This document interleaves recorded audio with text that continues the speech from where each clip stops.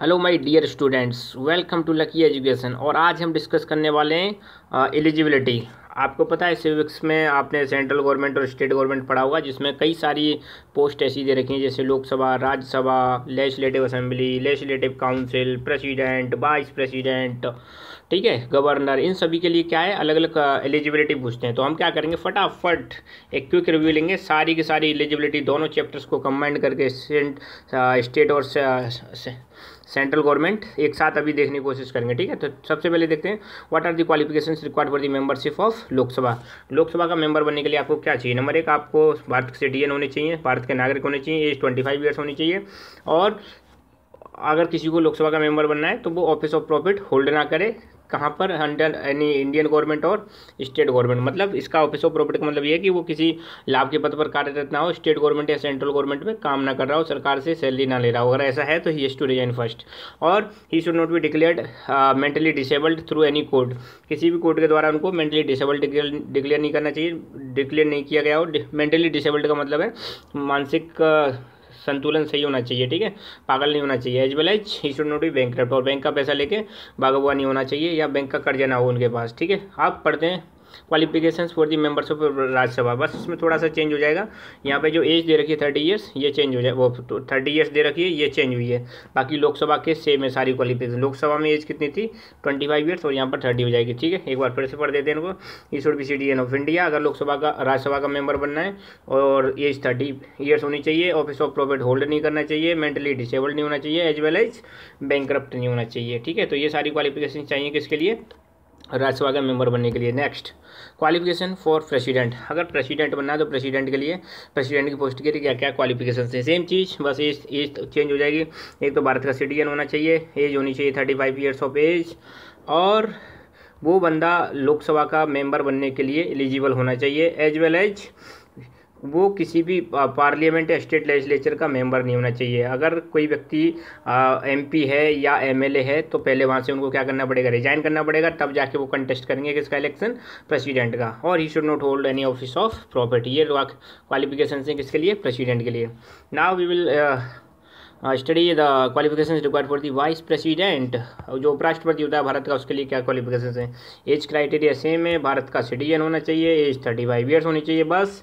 एक चीज़ चेंज हो जाएगी, यहाँ पर जो क्वालिफिकेशन हैं, वो कौन सी होनी चाहिए? राज्यसभा के बराबर होनी चाहिए, ठीक है? तो पर्सन शुड है should fulfil the criteria all criteria to become A member of Rajya Sabha. Rajya Sabha का मेंबर बनने लायक उसमें सभी की सभी क्राइटेरिया होने चाहिए, ठीक है? ओके सो मूविंग फॉरवर्ड अगर किसी को मिनिस्टर बनना है, ठीक है? मिनिस्टर में सपोज़ प्राइम मिनिस्टर बनना है चीफ मिनिस्टर बनना है या एनी मिनिस्टर बनना है तो मिनिस्टर बनने के लिए भी क्या क्या क्वालिफिकेशन हैं?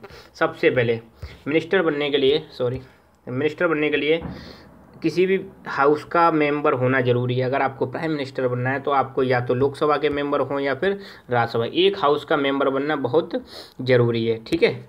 अगर किसी व्यक्ति ने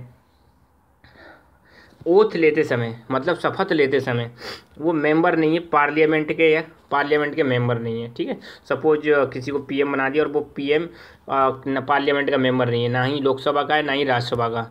तो उस व्यक्ति को, उस व्यक्ति को ये बहुत ज़रूरी है कि छः महीने के अंदर within the six month उन्हें पार्लियामेंट का मेंबर बनना पड़ेगा। सपोज़ किसी व्यक्ति को पीएम बना दिया जाता है। ये व्यक्ति ये है, इसको पीएम बना दिया, ठीक है?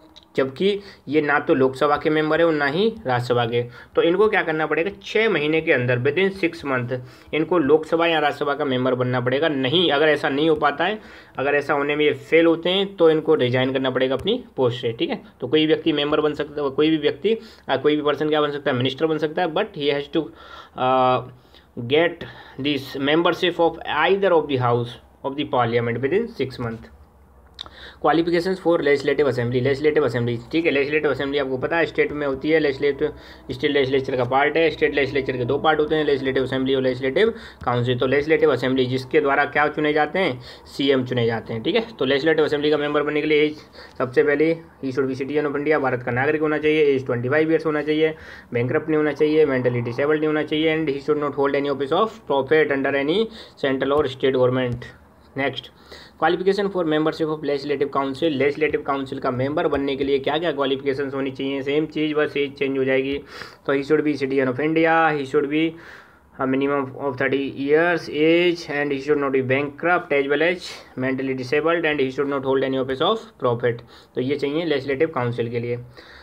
क्वालिफिकेशन फॉर गवर्नर ठीक है? आपको पता है गवर्नर कहाँ पर होते हैं? स्टेट में, जैसे सेंट्रल गवर्नमेंट में प्रेसिडेंट होते हैं इन दी सेम मैंने स्टेट में कौन होता है? गवर्नर होता है। तो गवर्नर बनने के लिए क्या क्या क्वालिफिकेशन चाहिए? वही he should be citizen of India he should और एज थर्टी फाइव ईयर्स होनी चाहिए and he should not hold any office of profit and he should not be member of parliament और स्टेट लेजिस्लेचर अगर ऐसा है then he has to resign ये governor के लिए क्वालिफिकेशन चाहिए, ठीक है? अब एक बार अगर सभी को देखें क्या क्या हमने पढ़ा था अभी? देखो, लोकसभा लेजिस्लेटिव असेंबली इन दोनों के लिए कितना चाहिए क्वालिफिकेशन मतलब एज कितनी चाहिए? ट्वेंटी फाइव ईयर्स एज ठीक है?